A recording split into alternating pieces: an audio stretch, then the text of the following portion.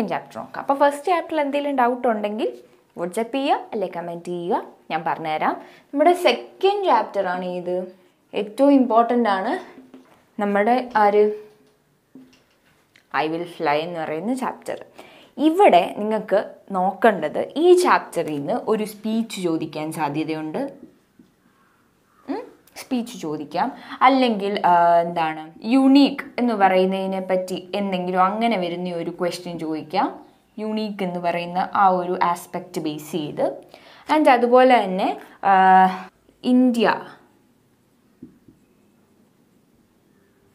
And youth എന്നുള്ള രീതിയിൽ ഒരു എസ് എഴുതാൻ ചോദിക്കാം.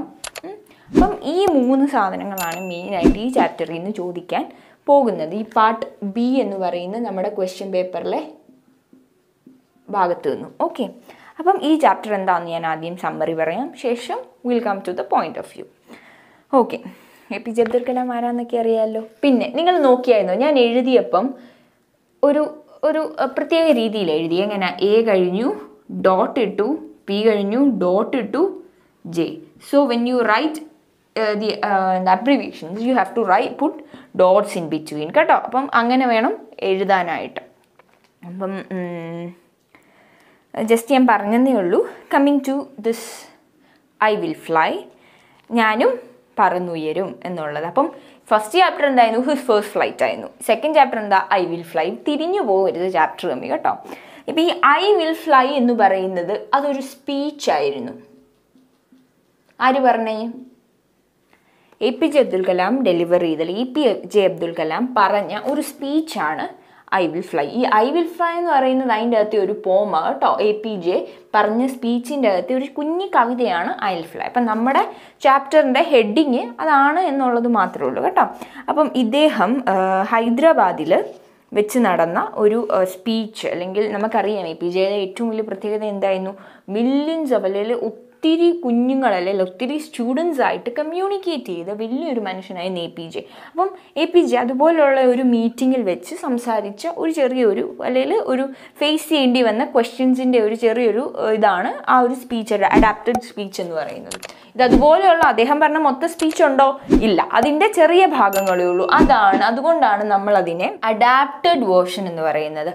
ആ ഒരു സംഭവം അല്ലെങ്കിൽ അദ്ദേഹം പറഞ്ഞ സ്പീച്ച് അതുപോലെ ഇല്ല.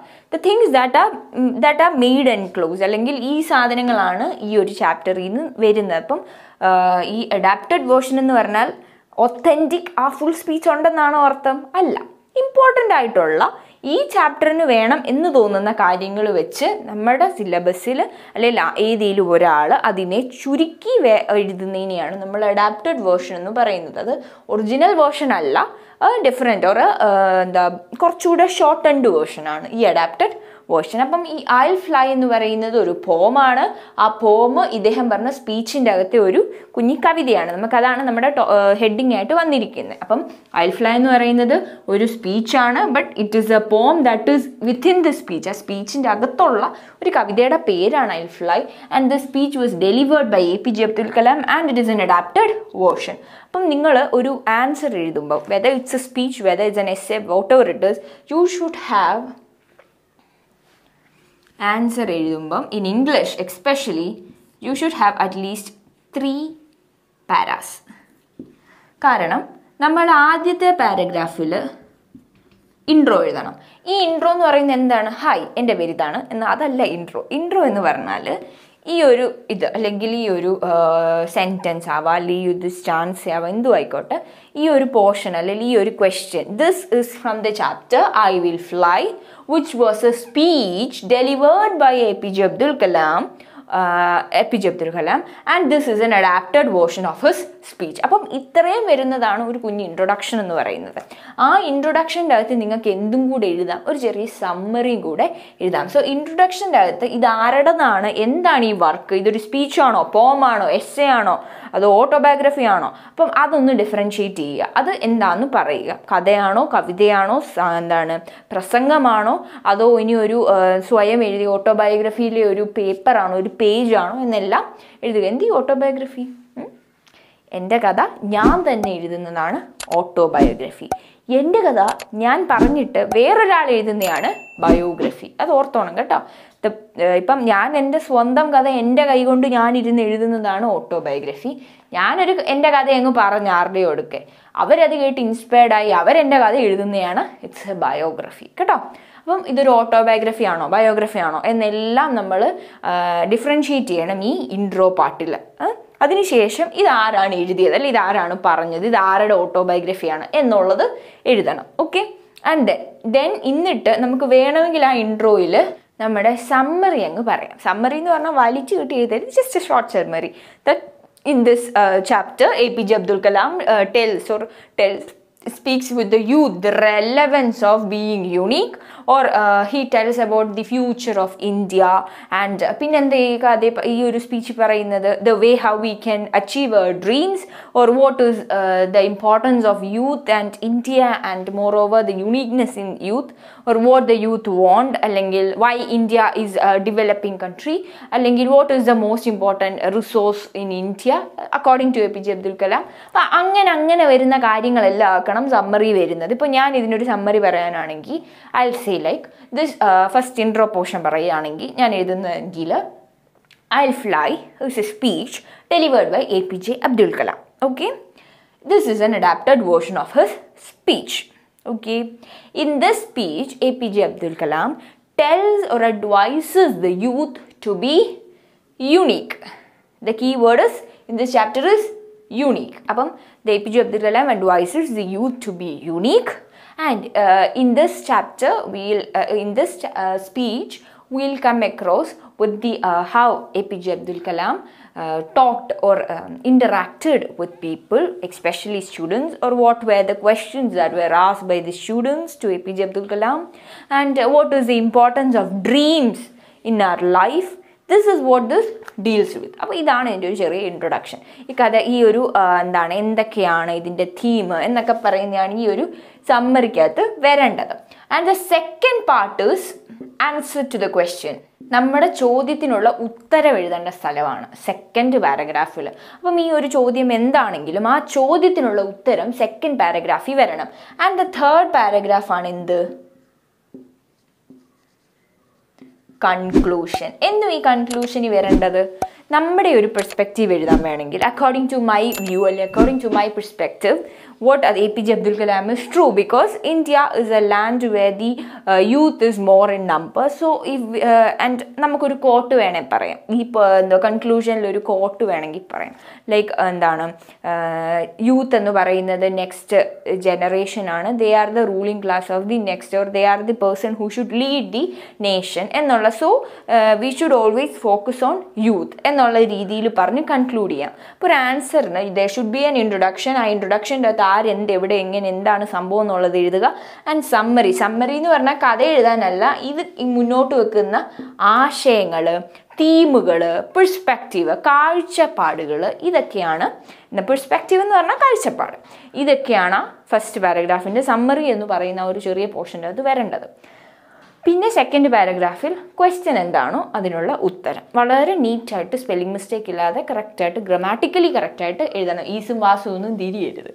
പിന്നെ ആൻഡ് ഫൈനലി കൺക്ലൂഷൻ കൺക്ലൂഷൻ നമ്മുടെ ഒരു പെർസ്പെക്റ്റീവ് ആവാം. അതല്ലെങ്കിൽ എന്താണ് നമുക്ക് ഈ- ഒരു പറഞ്ഞ കാര്യങ്ങളോട് നമ്മൾ യോജിക്കുന്നു. യോജിക്കാനുള്ള കാര്യങ്ങൾ കാരണങ്ങൾ ഇതൊക്കെയാണ് എന്നുള്ള രീതിയിൽ നമുക്ക് കൺക്ലൂഡ് ചെയ്യാം. അപ്പോൾ ഇതായിരിക്കണം ഒരു ആൻസർ ഉണ്ട് സ്ട്രക്ചർ മിനിമം മൂന്ന് പാരഗ്രാഫ് അറ്റ്ലീസ്റ്റ് ഓക്കെ അല്ലെങ്കിൽ ഇത് ഇതെന്തായാലും കാണണം കേട്ടോ. ഇങ്ങനെ ആയിരിക്കണം ഉത്തരവ് എഴുതേണ്ടത്. So coming to that whole part okay ആണല്ലെന്ന് കരുതുന്നു. നമുക്കിനി നമ്മുടെ ചാപ്റ്ററിലോട്ട് വരുവാണെങ്കിൽ അൽ ഫ്ലൈ എന്ന് പറഞ്ഞാൽ A P J Abdul Kalam ഒരു കുട്ടികളുടെ ഇടയിൽ സ്പീച്ച് നടത്തിക്കൊണ്ടിരുന്നപ്പം ശാസ്ത്രയാണെന്ന് പറയുന്ന ഒരു പ്രോഗ്രാം ഇനോഗ്രേറ്റ് ചെയ്യാൻ വന്നതാണ്. അപ്പോൾ അദ്ദേഹത്തിന് നേരിടേണ്ടി വന്ന ഒരു ചോദ്യം. ആ ചോദ്യത്തെ അദ്ദേഹം എങ്ങനെ നേരിട്ടു? അദ്ദേഹം എന്താണ് ആ സ്പീച്ചിൽ പറഞ്ഞതെന്നുള്ളതാണ്. അപ്പം അദ്ദേഹം സ്പീച്ച് ചെയ്യുന്ന സമയത്ത് ഒരു റാൻഡം ആയിട്ടാണ് കുട്ടികളെ സെലക്ട് ചെയ്യുന്നത്. ഇങ്ങനെ വെറുതെ നീ എഴുന്നേറ്റോ നീ എഴുന്നേറ്റോ എന്നുള്ള രീതിയിലാണ് അദ്ദേഹം സെലക്ട് ചെയ്യുന്നത്. അപ്പം അങ്ങനെ സെലക്ട് ചെയ്ത വഴി അദ്ദേഹം പറയുന്നത് എന്റെ ജീവിതത്തിൽ ഞാൻ കേട്ട അല്ലെ എന്റെ നേർക്ക് വന്ന ഏറ്റവും പാട് പിടിച്ച ചോദ്യം ഇതായിരുന്നു എന്ന് പറഞ്ഞാണ് ആ കുട്ടി ചോദിച്ച ചോദ്യത്തെ നമ്മുടെ മുന്നിലേക്ക് മുന്നോട്ട് വെക്കുന്നത്. ആശ അത് മുന്നോട്ട് കൊണ്ടുവരുന്നത്. എന്തായിരുന്നു ആ ചോദ്യം എന്ന് പറഞ്ഞാൽ ഒരു കൊച്ചുകുട്ടിയാണ്. അവൻ ചോദിച്ചത് അവനൊരു മെറൈൻ എഞ്ചിനീയർ ആവണം. അവനൊരു ക്യാപ്റ്റൻ ഓഫ് ദ ഷിപ്പ് ആവണം. അവനൊരു എൻജിൻ പണിയണം. അവനാണെങ്കിൽ എന്താണ്? ഈ സീ മൊത്തം കറങ്ങി നടക്കണം. പക്ഷെങ്കിൽ എനിക്കൊരു ചോദ്യം ചോദിക്കാൻ പോലും ഉള്ള കോൺഫിഡൻസ് ഇല്ല? എനിക്കിതൊക്കെ ആകാൻ പറ്റുമോ? എന്നിട്ട് അവൻ അവന്റെ ആ ഒരു ആഗ്രഹത്തെ അവൻ വിളിക്കുന്നത് മിഷൻ എന്നാണ്. Okay? In this chapter the boy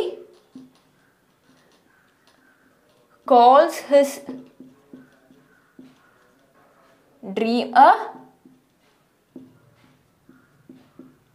mission എന്തിനാണ് ആ ബോയ് അവന്റെ ആ ഒരു ഡ്രീമിനെ മിഷൻ എന്ന് വിളിച്ചത്? മിഷൻ എന്ന് പറഞ്ഞാൽ ഇറ്റ്സ് എ ഹെവി ടാസ്ക് നമ്മളെ കൊണ്ട് ചെയ്യാൻ പാടുപെടുന്ന ഒരു കാര്യത്തെയാണ് നമ്മൾ മിഷൻ എന്ന് പറയുന്നത്. മിഷൻ അക്കോംപ്ലിഷ്ഡ് എന്നൊക്കെ കേട്ടിട്ടില്ലേ? പബ്ജിക്കകത്തൊക്കെ ഉണ്ടെന്ന് തോന്നി മിഷൻ ഞാൻ കളിച്ചിട്ടില്ല ഞാൻ ജസ്റ്റ് പറഞ്ഞതാണേ. അപ്പം നല്ലതല്ല അതൊക്കെ അധികം കളിക്കുന്ന ലീവ് ദാറ്റ് അപ്പം ഈ മിഷൻ എന്ന് പറയുന്നത് നമുക്ക് പാടാണ് അക്കോംപ്ലിഷ് ചെയ്യാൻ പാടായിട്ടുള്ള കാര്യങ്ങളെയാണ് മിഷൻ എന്ന് നമ്മൾ പറയുന്നത്. ഒരു ദൗത്യം എന്നൊക്കെ പറയുന്നത്. അപ്പം ഇദ്ദേഹത്തിന്റെ ആ കുട്ടിയുടെ dream oh to become a marine engineer എന്ന് പറയുന്നത് ഒരു മിഷനാണ് അവനെ സംബന്ധിച്ച് കിട്ടാൻ പറ്റാത്ത അല്ലെങ്കിൽ അവനെ കൊണ്ട് ചെയ്യാൻ പറ്റാത്ത ഒരു കാര്യമാണ്. അതെങ്ങനെയാണ് ഞാൻ അക്വയർ ചെയ്യേണ്ടത്? എങ്ങനെയാണ് ഞാൻ കോൺഫിഡന്റ് ആവേണ്ടത്? എന്നായിരുന്നു A P J A P ജെയോട് ആ കുട്ടി ചോദിച്ചത്. അപ്പം എ പി ജെ അതിന് കൊടുത്ത മറുപടി. എ പി ജെ അതിന് കൊടുത്ത മറുപടിയാണ് ഐ വിൽ ഫ്ലൈ എന്ന്. ആ ഒരു പോം റിസൈറ്റ് ചെയ്ത്. അദ്ദേഹം പറഞ്ഞത് ഇത്രേ ഉള്ളൂ. എനിക്ക് നടക്കണ്ട എനിക്ക് ഇഴയണ്ട എനിക്ക് എന്താണ് നിരങ്ങണ്ട എനിക്ക് ചിറകുകളില്ലേ. ഞാൻ പറന്നുയരും സോ നിനക്ക് പൊട്ടൻഷ്യൽ ഉണ്ട് നിനക്ക് കഴിവുണ്ട് എങ്കിൽ ഡെസ്സിന്റെ ഒരു ഡിഫിക്കൽട്ടിയും നിന്നെ പുറകോട്ട് വലിക്കാൻ പാടില്ല. ഒരു എന്താണ് കോൺഫിഡൻസ് ഇല്ലായ്മയോ അല്ലെങ്കിൽ പേടിയോ അയ്യോ അവരെന്തോ വിചാരിക്കോ അങ്ങനത്തെ ഇൻഹിബിഷൻസോ ഒന്നിന്റെ ആവശ്യമില്ല. നീ മുന്നോട്ട് തന്നെ പോവുക നിനക്ക് ചിറകുകളുണ്ട്. എന്താണ് ഇവിടെ ചിറകെന്ന് പുള്ളി ഉദ്ദേശിക്കുന്നത്? നമ്മുടെ ആ ഒരു ആഗ്രഹമാണ് അല്ലെ? നമ്മുടെ ആ ഒരു സ്വപ്നമാണ്. ഇന്നതാവണോ എന്നുള്ള ഒരു പാഷൻ ആവാം. ആ പാഷൻ ഉണ്ട്. So you should fly high നിനക്ക് ചിറകുകളുള്ളത് കൊണ്ട് നിനക്ക് പറന്നുയരാം. നീ ഈ എഴേണ്ട കാര്യം ഇല്ല എന്ന്. അപ്പോൾ അദ്ദേഹം ഈ കുട്ടിക്ക് കൊടുത്ത ആ ഒരു സ്പീച്ചാണ് അല്ലെങ്കിൽ തിരിച്ചു കൊടുത്ത റിപ്ലൈ ആണ് ആ പോം എന്ന രൂപത്തിൽ ഐ ഫ്ലൈ എന്ന് പറയുന്നത്. ഓക്കെ എന്നിട്ട് അദ്ദേഹം അടുത്ത ഒരു ടീമിലോട്ട് വരുന്നത് ബീയിങ് യുണീക്ക് കേട്ടോ? യുണീക്ക് പിന്നെയും വന്നു നമ്മളിവിടെ. ഹ്യൂഡി പുള്ളി പറയുന്നത് അദ്ദേഹം പറഞ്ഞത് ഇതാണ് യൂത്ത് എന്ന് പറയുന്നത് യൂത്ത് എന്ന് പറഞ്ഞാൽ എന്താണ്? ഒരു ഒരു എന്താണ്? ഒരു eighteen to thirty thirty five അല്ലെങ്കിൽ ഫിഫ്റ്റീൻ ടു തേർട്ടി ആ ഒരു ഇത് തേർട്ടി ഫൈവ് ആ ഒരു സമയം. അപ്പം ആ ഒരു ആൾക്കാരുടെ ഏറ്റവും വലിയ ആവശ്യകത എന്ന് പറഞ്ഞാൽ ടു ബി യു നീ ആവുക എന്നുള്ളതാണ്. അപ്പം അദ്ദേഹം പറയുന്നത് ഇതാണ് വീടുകളിലാണെങ്കിലും സ്കൂളുകളിലാണെങ്കിലും നമ്മളോട് എന്നാ പറയുന്നത് അവനെ കണ്ടുപടി എന്നാ പറയുന്നത് അല്ലേ? സോ എവ്രി വൺ കമ്പയേഴ്സസ് ഇപ്പം ഫസ്റ്റ് റാങ്ക് കിട്ടിയ കൊച്ചിനോട് സോറി ക്ലാസ്സിൽ ഫസ്റ്റ് ആയ കൊച്ചുങ്ങളോട് ഇപ്പോൾ പറയുന്നത് അല്ലെങ്കിൽ അവനെ കണ്ടുപിടി അവളെ കണ്ടുപിടി എന്നാ പറയണ്ട. അതിന്റെ ആവശ്യം എന്താണ്? അതിന്റെ ആവശ്യമില്ല അല്ലേ? അപ്പം നമ്മളെ നമ്മുടെ ചുറ്റുമുള്ളവർ എന്താക്കാനാണ് ശ്രമിക്കുന്നത്? മറ്റുള്ളവരിൽ ഒരാളാക്കാനാണ് ശ്രമിക്കുന്നത്. എല്ലാവരിലും ഒരാളാക്കാൻ. To make you among the group അല്ലെങ്കിൽ ടു മേക്ക് യു എവ്രിബഡി എല്ലാവരിലും ഒരാളാക്കാൻ. നത്തിങ് യു എന്താ സ്പെഷ്യൽ അബൌട്ട് യു എല്ലാവരെയും പോലെ ആക്കാനാണ് നിന്റെ ചുറ്റുമുള്ളവർ നിന്റെ ഫാമിലി ആണെങ്കിലും നിങ്ങളുടെ ഫ്രണ്ട്സ് ആണെങ്കിലും നിങ്ങളുടെ ടീച്ചേഴ്സ് ആണെങ്കിലും ശ്രമിക്കുന്നത് അതാണ് ത്രൂ കമ്പയറിങ് അപ്പോൾ അതിന്റെ ആവശ്യമില്ല. നിങ്ങൾക്ക് എന്താവാനാണ് ആവേണ്ടത്? നിങ്ങൾ നിങ്ങളായിരിക്കുക. യു ഷുഡ് ബി യു നീ നീ ആയിരിക്കുക എന്ന് പറയുന്നതാണ് പ്രപഞ്ചത്തിലെ ഏറ്റവും വലിയ യുദ്ധം എന്നാണ് അദ്ദേഹം പറയുന്നത്. ദാറ്റ് മീൻസ് നമ്മളെ നമ്മളാവാതിരിക്കാൻ നമ്മളെ എല്ലാവരെയും പോലെ കോമൺ ആയിട്ട് അങ്ങ് ജീവിക്കാൻ കോമൺ ആയിട്ട് സംസാരിക്കാനാണ് ഈ ലോകത്തുള്ള എല്ലാവരും നമ്മളോട് പറയുന്നതും പ്രേരിപ്പിക്കുന്നതും. പക്ഷെങ്കിൽ നമ്മൾ അങ്ങനെ ആവരുത്. നമ്മൾ എന്താണോ വോട്ട് ഇസ് അസ് നമ്മൾ എന്താണോ അതാവാൻ നമ്മൾ കഠിനാധ്വാനം ചെയ്യണം. എല്ലാവരും നമ്മൾക്ക് എഗൻസ്റ്റ് ആയിരിക്കും. പക്ഷെങ്കിൽ you will have to make that strength നിങ്ങൾ അത്രത്തോളം വലിയ ബാറ്റിൽ ചെയ്തെങ്കിലേ നീ എന്ന് പറയുന്ന ആ ഒരു ഇൻഡിവിജ്വാലിറ്റി ഓക്കെ ആ ഒരു ക്യാരക്ടർ ആവാം ആ ഒരു പാഷൻ ആവാം ആ ഒരു പെർസ്പെക്റ്റീവ് കാഴ്ചപ്പാടാവാം. ഇതെല്ലാമുള്ള നീ എന്ന് പറയുന്ന വ്യക്തിയെ ഉണ്ടാക്കണമെങ്കിൽ നീ അത്രയും ബാറ്റിൽ ചെയ്യണം. അപ്പം യുണീക്ക് ആയിരിക്കുക എന്ന് പറയുന്നതാണ് ഇന്നത്തെ യുവ യുവ തലമുറ ആഗ്രഹിക്കുന്നത്. പക്ഷേ അതിനവർ വലിയ രീതിയിൽ യുദ്ധം ചെയ്യേണ്ടി വരും. കാരണം ചുറ്റിനുള്ളവരെല്ലാം അവരെ പൊതുവായിട്ട് അല്ലെങ്കിൽ സമ്പടി ആക്കാൻ അല്ലെങ്കിൽ എവ്രിബഡി ആക്കാനാണ് ശ്രമിക്കുന്നത്. യു എന്ന് പറയുന്നത് അബ്സ്റ്റാൻഡ് ചെയ്ത് നിൽക്കുന്നേ മറ്റുള്ളവരിൽ നിന്ന് ഡിഫറൻഷ്യേറ്റ് ചെയ്ത് നിൽക്കുന്നേ അതിന്റെ കാര്യമില്ല എന്നാണ് ചുറ്റുമുള്ളവർ പറയുന്നത്. പക്ഷേ യു ഷുഡ് ബി യുണീക്ക് എന്നുള്ളതാണ് പറയുന്നത് അദ്ദേഹം. ആൻഡ് അദ്ദേഹം പറയുന്നത് ഡ്രീംസ് കാണുക. അതിൽ ഒരു ചെറിയ ഡ്രീമിന്റെ പോഷൻ വരുന്നുണ്ട്. ദറ്റ് നമ്മൾ ഡ്രീം ചെയ്യുന്നതിനെ അക്വയർ ചെയ്യാനായിട്ട് നമ്മൾ കഠിനാധ്വാനം ചെയ്യണം. എങ്കിൽ മാത്രമേ will become what we what we love to become എന്നുള്ളതാണ്. ഓക്കെ അപ്പോൾ ഇതാണ് അതിന്റെ ഒരു സമ്മറി എന്ന് പറയുന്നത്. അപ്പം ഈ ചാപ്റ്ററിൽ theme apart from this theme and everything important ആയിട്ടുള്ള ഒരു ഫീച്ചർ എന്ന് പറഞ്ഞാൽ യുണീക്കാണ് being unique how to become unique അപ്പം ഇതിൽ എ പി ജെ നമുക്ക് പറഞ്ഞു തരുന്ന ഒരു തിങ് എന്ന് പറഞ്ഞാൽ ഹൗ ടു ബിക്കം യുണീക്ക് നിങ്ങളുടെ ആൻസറിൽ അപ്പോൾ എപ്പോഴും കാണേണ്ടത് ഈ ഒരു പെർസ്പെക്റ്റീവാണ് A P J Abdul Kalam's advises the youth to be unique because everyone around us is comparing or making us common അല്ലെങ്കിൽ won't allow allow to be our self so we have to strike back we have to fight back in order to become our self അപ്പം അതായിരിക്കണം നിങ്ങളുടെ ഉത്തരത്തിലുണ്ടാവേണ്ടത്. So ഈ ഒരെണ്ണത്തിൽ സ്പീച്ചിന്റെ ഫോർമാറ്റും കാര്യങ്ങളും ഞാൻ പറയാം. അതവിടെ നിൽക്കട്ടെ. അല്ലാതെ വരുന്ന ഏത് ക്വസ്റ്റ്യൻ ഇപ്പോൾ യുണീക്ക് എന്ന് പറയുന്ന ക്വസ്റ്റ്യൻ ആണെങ്കിലും ഇമ്പോർട്ടൻസ് ഓഫ് എന്താണ് യുണീക്നെസ് ആണ്. അല്ലെങ്കിൽ ഹൗ ടു ബിക്കം യുണീക്ക് എന്നാണെങ്കിലും ഇന്ത്യ ആൻഡ് യൂത്ത് എന്നുള്ള രീതിയിലാണെങ്കിലും ഒക്കെ you will have to write the importance of your passion or the importance നിങ്ങളുടെ ആ ഒരു പാഷന്റെ ഈ ഒരു ക്വസ്റ്റ്യന്റെ കീ വേർഡ്സ് എന്ന് പറയുന്നത് പാഷൻ നിങ്ങൾ എത്തുമാത്രം ഒരു കാര്യത്തെ ആഗ്രഹിക്കുന്നു അതിനെ ഡ്രീം ചെയ്യുന്നു അത് അക്വയർ ചെയ്യാൻ ബാറ്റിൽ ചെയ്യുന്നു അല്ലെങ്കിൽ എന്താണ് കൺസിസ്റ്റന്റ് ആവുന്നു. കൺസിസ്റ്റന്റ് എന്ന് പറഞ്ഞാൽ എപ്പോഴും അതിനുവേണ്ടി പ്രയത്നിച്ചുകൊണ്ടിരിക്കുന്നു. ആൻഡ് ഫൈനലി യുണീക്ക് ആവുന്നു. നിങ്ങളുടെ ഓരോ ആക്ഷനും മറ്റുള്ളവരിൽ നിന്നും വ്യത്യസ്തരാവുന്നത് എങ്ങനെയാണ്? അപ്പം യുണീക്നെസ്സിന്റെ ഇമ്പോർട്ടൻസ് എന്താണ്? എല്ലാവരും ചെയ്യുന്ന പോലെ ചെയ്ത വലിയ കാര്യമൊന്നുമില്ല. നമുക്ക് ഡിഫറെന്റ് ആയിട്ട് ചെയ്യണമെങ്കിൽ മാത്രമേ എല്ലാവരിൽ നിന്നും നമ്മളെ വ്യത്യസ്തരാക്കൂ എന്നുള്ള ആ ഒരു idea and finally confidence first ചാപ്റ്ററിലും ഇതുണ്ടായിരുന്നു കേട്ടോ. അപ്പം ഈ സെക്കൻഡ് ചാപ്റ്ററിലും കോൺഫിഡൻസിന്റെ ഇമ്പോർട്ടൻസ് പറയുന്നു. കാരണം കോൺഫിഡന്റ് ആയെങ്കിൽ മാത്രമേ നമുക്കൊരു കാരണം കാര്യത്തിന്റെ പാഷൻ ഉണ്ടാകൂ കോൺഫിഡന്റ് ആണെങ്കിൽ മാത്രമേ അതിനോട് സ്വപ്നം കാണാനുള്ള ഒരു ആഗ്രഹം ധൈര്യം ഉണ്ടാകത്തുള്ളൂ കോൺഫിഡന്റ് ആണെങ്കിൽ മാത്രമേ കൺസിസ്റ്റന്റ് ആവാൻ പറ്റൂ. എന്നും അതിനുവേണ്ടി പുറകെ നടന്നത് പ്രയത്നിക്കാൻ പറ്റും. ആൻഡ് കോൺഫിഡന്റ് ആണെങ്കിൽ മാത്രമേ ഈ ബാറ്റിൽ ചെയ്ത് മറ്റുള്ളവരിൽ നിന്നും വ്യത്യസ്തനായി സ്വയം യു എന്ന് പറയുന്ന ആ ഒരു സ്റ്റാൻഡ് ക്രിയേറ്റ് ചെയ്യാൻ പറ്റും. അപ്പം കോൺഫിഡൻസിനാണ് ഈ കോൺഫിഡൻസ് ഉണ്ടെങ്കിൽ മണ്ടയ്ക്ക് പറഞ്ഞ നാല് കാര്യങ്ങളും ചെയ്യാനുള്ള ആർജവം ഓർ ദി സ്ട്രെങ്ത് നിങ്ങൾക്ക് കിട്ടും. സോ ഇമ്പോർട്ടൻസ് ഓഫ് കോൺഫിഡൻസ് ഇത്രയുമാണ് ഈ ചാപ്റ്ററിന്റെ ഒരു എന്താ പറയണ്ടേ ഇമ്പോർട്ടന്റ് ആയിട്ടുള്ള ആസ്പെക്റ്റ് അപ്പം ഏത് ആൻസർ എഴുതിയാലും എന്ത് ആൻസർ അപ്പാർട്ട് ഫ്രം സ്പീച്ച് സ്പീച്ചിലും ഇതൊക്കെ വരണം. പക്ഷേ സ്പീച്ചിലൊരു സ്ട്രക്ചർ ഉണ്ട് ഞാൻ പറഞ്ഞുതരാം.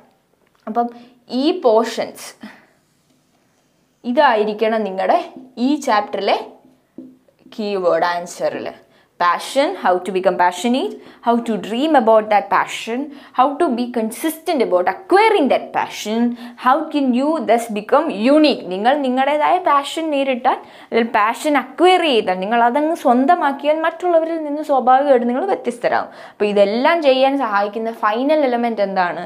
കോൺഫിഡൻസ് ആണ്. യു ഷുഡ് ബി കോൺഫിഡൻസ് എങ്ങനെയാണ് കോൺഫിഡന്റ് ആവേണ്ടത്? ഇതാണ് എ പി ജെ പറയുന്നത്. അദ്ദേഹത്തിന്റെ ഈ ഒരു എന്താണ് ഏറ്റവും ഈ നാല് അല്ല അഞ്ച് കാര്യങ്ങൾ എഴുതുമ്പം ഈ ആൻസറിൽ അഞ്ച് കാര്യങ്ങൾ എഴുതുമ്പം ഇതിലെല്ലാത്തിലും എഴുതാൻ പറ്റുന്ന ഒരു വരിയാണ് എ പി ജെ പറഞ്ഞ ഇത്. I have wings so I will fly high എന്നുള്ളത്. എനിക്ക് ചിറകുകളുണ്ട്. അതുകൊണ്ട് ഞാൻ ഉയർന്നു പറക്കുക തന്നെ ചെയ്യും. എനിക്ക് എഴയണ്ട നടക്കണ്ട ഒന്നും ചെയ്യണ്ട മുട്ട എഴയും ഒന്നും ചെയ്യണ്ട. എനിക്ക് ചിറകുകളുണ്ട്. അതുകൊണ്ട് ഞാൻ പറന്നുയരും. അപ്പം അതിനുള്ള കോൺഫിഡൻസ് അപ്പം മെയിനായിട്ട് നിങ്ങൾ ഈ അഞ്ച് കാര്യങ്ങൾ എഴുതി കഴിയുമ്പോൾ അതിലെല്ലാം ഉൾക്കൊള്ളാൻ പറ്റുന്ന ഒരു ചെറിയ കോട്ടാണ് ഈ എഴുതി വെച്ചിരിക്കുന്നത് കേട്ടോ. ഏത് ആൻസറിലും എഴുതി വെക്കാം. ഈ ചാപ്റ്ററിൽ നിന്ന് വന്നത് കേട്ടോ. അപ്പം ഇത്രയാണ് നമ്മുടെ ഈ ചാപ്റ്ററിൽ വളരെ ഇമ്പോർട്ടന്റ് ആയിട്ടുള്ളത്. ആൻഡ് ഇതിന് ഇനിയും വരുന്ന സ്പീച്ച് എങ്ങനെ എഴുതുന്നതെന്ന് അതിപ്പം ഞാൻ പറയാം. എന്തോ speech it's an art of talking നമ്മൾ എങ്ങനെയാണ് സംസാരിക്കുന്നതിന്റെ ഒരു ഒരു കലയാണ് സ്പീച്ച് എന്ന് പറയുന്നത്. അപ്പം ഒരു സ്പീച്ച് എഴുതുമ്പോൾ അപ്പം ഒരു നമ്മൾ പറയുന്നതിന് മുമ്പ് എഴുതണമല്ലോ. അപ്പോൾ ആ ഒരു ഫോർമാറ്റ് നിങ്ങൾ എപ്പോഴും ചോദിക്കും ഈ ചാപ്റ്ററിൽ സ്പീച്ച് എഴുതാൻ. അപ്പം ആ ഒരു ഫോർമാറ്റ് നമ്മൾ പറയുന്നത്. അപ്പം മെയിനായിട്ട് ആദ്യം സ്പീച്ചിന് വേണ്ടത് ഫസ്റ്റ് ലൈൻ എന്ന് പറയുന്നത് വെൽക്കം ആയിരിക്കണം. വന്നവരോടെല്ലാം ഒരു വെൽക്കം അല്ലെങ്കിൽ വന്നവരോടെല്ലാം നന്ദി എന്നല്ല അല്ലെങ്കിൽ അതല്ല പറയേണ്ടത്. നമ്മൾ ആ ആ സ്റ്റേജിൽ ഇരിക്കുന്നവരെ നമ്മളൊന്ന് ആദ്യം അവർക്കൊരു അവരെ ഒന്ന് നമ്മൾ മാനിക്കണം. അതാണ് ഈ വെൽക്കം എന്ന് പറയുന്നത്. ഇത് ഞാൻ ഉദ്ദേശിച്ചത്. സെക്കൻഡ് എന്ന് പറഞ്ഞാൽ അല്ലെങ്കിൽ ഇതിനെ നമുക്ക് അഡ്രസ്സ് എന്ന് വേണമെങ്കിൽ പറയാം. അഡ്രസ്സ് ചെയ്യുക ആ സ്റ്റേജിലിരിക്കുന്നവരെയും സ്റ്റേജിന് പുറമെ അല്ലെങ്കിൽ ആ ഡയസ് ഡയസ് എന്ന് പറഞ്ഞാൽ ആ ഒരു പ്ലാറ്റ്ഫോമാണ് ഗസ്റ്റ് ഇരിക്കുന്ന പ്ലാറ്റ്ഫോമാണ് അതിനപ്പുറം ആ ഓഡിയൻസിനെയൊക്കെ നമുക്കൊന്ന് അഡ്രസ്സ് ചെയ്യാം. അഡ്രസ്സ് ചെയ്തതിന് ശേഷം ടോപ്പിക്ക് ഇൻട്രൊഡ്യൂസ് ചെയ്യണം. എന്ന് വെച്ചാൽ ഞാൻ ഇന്ന് ദിവസം ഈ ടോപ്പിക്കിനെ പറ്റിയാണ് സംസാരിക്കുന്നത് എന്നുള്ളത്. അതിന്റെ റെലവൻസ് അതിന്റെ ഇമ്പോർട്ടൻസ് എന്താണ് എന്നുള്ളത് ജസ്റ്റ് ഒന്ന് സൂചിപ്പിക്കുക.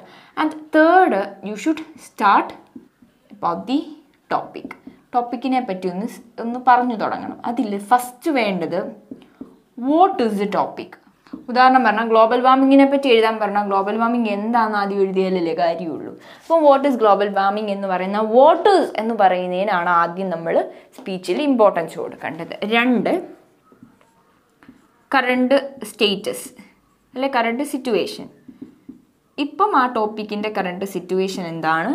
തേർഡ് നമ്മൾ പിന്നെ സ്പീച്ച് പോയിന്റുകളാണ് സ്പീച്ച് പോയിന്റ്സ് ഈ ടോപ്പിക്കിനെ ബേസ് ചെയ്തുള്ള നമ്മുടെ അറിവുകൾ പോയിന്റുകൾ എഴുതും.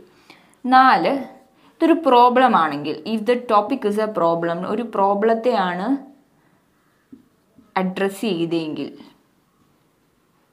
നമ്മളിപ്പോൾ ആ സ്പീച്ചിലൂടെ ഒരു പ്രശ്നത്തെയാണ് നമ്മൾ മുന്നോട്ട് വെക്കുന്നതെങ്കിൽ ആ പ്രശ്നം കൊണ്ടുണ്ടാവുന്ന കോൺസിക്വൻസസ് എന്തൊക്കെ സംഭവിക്കും ഈ ഒരു പ്രശ്നം സോൾവ് ചെയ്തില്ലെങ്കിൽ എന്നുള്ളതും ആൻഡ് ഫൈനലി ദ സൊല്യൂഷൻ നമ്മൾ അതിനൊരു സൊല്യൂഷൻ എഴുതണം.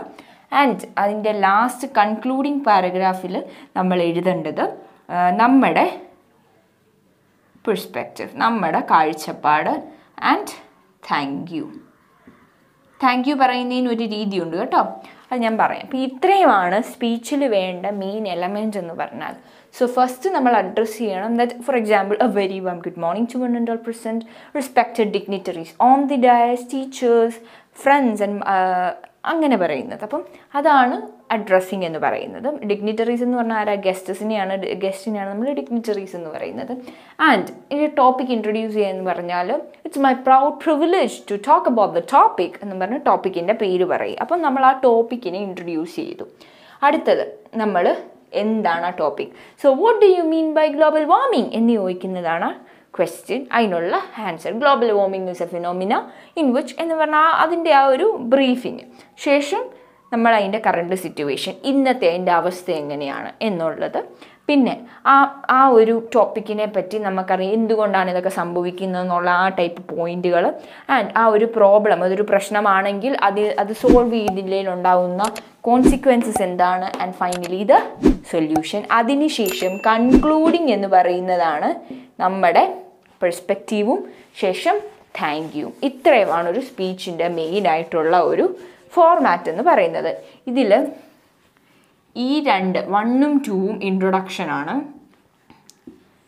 ഇത്രയും ബോഡി ഓഫ് ദ സ്പീച്ചാണ് ആൻഡ് ദിസ് ഇസ് കൺക്ലൂഷൻ കേട്ടോ? ഇപ്പോൾ സ്പീച്ചിന്റെ ഇൻട്രൊഡക്ഷൻ പാർട്ടി തന്നെ എല്ലാവരും അഡ്രസ്സ് ചെയ്യണം ടോപ്പിക്കിനെ ഇൻട്രൊഡ്യൂസ് ചെയ്യണം.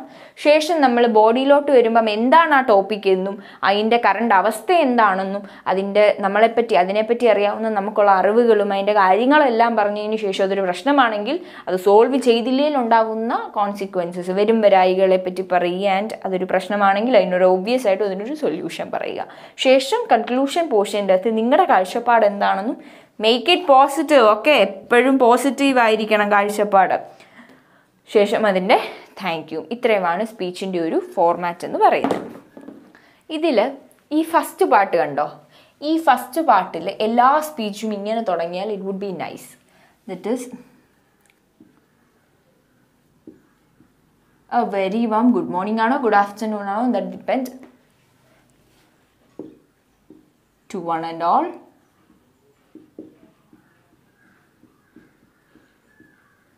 respected dignitaries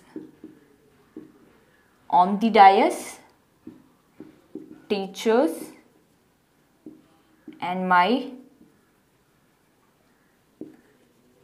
dear friends അപ്പം ഇതിൽ നിങ്ങൾ ശ്രദ്ധിക്കേണ്ടത് നിങ്ങളൊരു സ്കൂളിലാണ് സ്പീച്ച് പറയുന്നതെങ്കിൽ ആ ഒക്കേഷൻ നിങ്ങൾക്ക് തരും. ആ ക്വസ്റ്റ്യനിൽ എവിടാണ് ഇത് പ്രസംഗിക്കേണ്ടതെന്നുള്ള അതനുസരിച്ച് വേണം ഈ ടീച്ചറിനെയൊക്കെ എടുത്തിടാൻ കേട്ടോ. ഇഫ് ഇൻ ആൻ അസംബ്ലി വല്ലതും ആണെങ്കിൽ you should obviously write teachers and and എന്താണ് ഡ്രസ് യുവർ ഫ്രണ്ട്സ് ടു അപ്പം ആദ്യത്തെ ഇൻട്രൊഡക്ഷൻ ഈ ഭാഗത്ത് എഴുതേണ്ടത് എ വെരി വോം ഗുഡ് മോർണിംഗോ ഗുഡ് ആഫ്റ്റർനൂണോ എന്തു ആയിക്കോട്ടെ. To one and all respected dignitaries on the dais teachers and my dear friends ഇനിയാണ് നമ്മൾ ഇൻട്രൊഡ്യൂസ് ചെയ്യുന്നത്. It is my proud privilege to talk about the topic